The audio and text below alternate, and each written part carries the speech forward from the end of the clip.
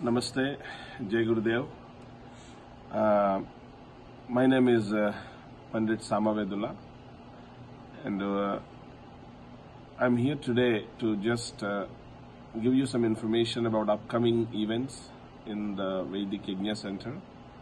We just finished Ganesh Navaratri, nine days of Ganesha uh, Yajnas. Every day we did with the 1008 Modakas and so on. Now, tomorrow is a full moon uh, day, so tomorrow we will be doing full moon yajnas as well.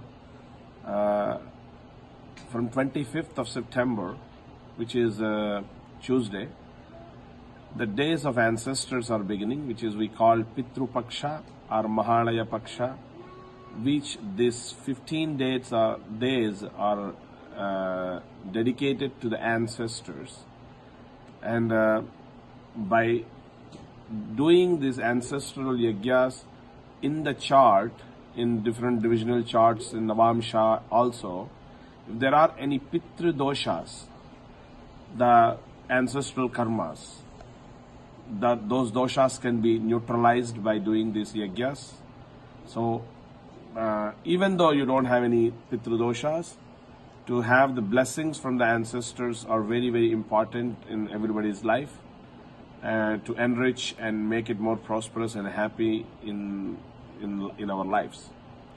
So I recommend you and I request everybody to come and participate in special yajnas what we are doing for 15 days starting from Tuesday 25th September for ancestral yajnas and uh, these yajnas are very specifically done individually, exclusively, and group also.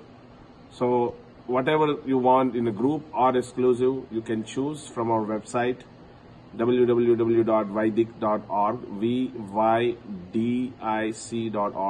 You can see in our website all the information about the upcoming ancestral yajnas. Thank you. Jai Gurudev. Namaste.